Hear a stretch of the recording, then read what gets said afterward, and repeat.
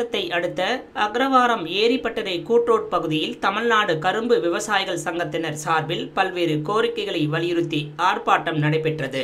ஆர்ப்பாட்டத்திற்கு கரும்பு விவசாயிகள் சங்க தலைவர் டி. கோவிந்தன் விவசாய சங்க தாலுகா செயலாளர் எம். கோபால் ஆகியோர் தலைமை தாங்கினர். நிர்வாகிகள் பலர் முன்னிலை வகித்தனர். ஆர்ப்பாட்டத்தை தமிழ்நாடு விவசாய சங்க மாவட்ட செயலாளர் கே. சாமிநாதன் தொடங்கி வைத்தார். இதில் பல்வேறு சங்கங்களைச் சேர்ந்த நிர்வாகிகள் பி. குணசேகரன் ப. Saminathan C. Saravanan S. Silambarasan M. Sahadevan M. Sivagnanam R. Ravi K. Sekar உள்பட ஏராளமானோர் பேசினர். ஆர்ப்பாட்டத்தில் முன்னூறு நாட்களாக தஞ்சையில் போராடி வரும் கரும்பு விவசாயிகளின் நீண்டகால கோரிக்கைக்கு தீர்வு காண தமிழக அரசை வலியுறுத்தியும் கரும்பு விவசாய விவசாயிகளின் போராட்டத்தில் தாக்குதல் நடத்தி மாநில பொதுச் செயலாளர் ரவீந்திரன் உட்பட விவசாயிகள் கைது செய்த காவல்துறையை கண்டித்தும் கோஷங்கள் எழுப்பினர். ஆர்ப்பாட்டத்தில் தமிழ்நாடு கரும்பு விவசாயிகள் சங்கம் தமிழ்நாடு விவசாயிகள் சங்கம் பிடி தொழிலாளர் சங்கம் சிஐடியு தொழிற்சங்கம் கரிகோழி வளர்ப்பு சங்கம் உட்பட பல்வேறு சங்கங்களை சேர்ந்த நிர்வாகிகள் கலந்து கொண்டனர்.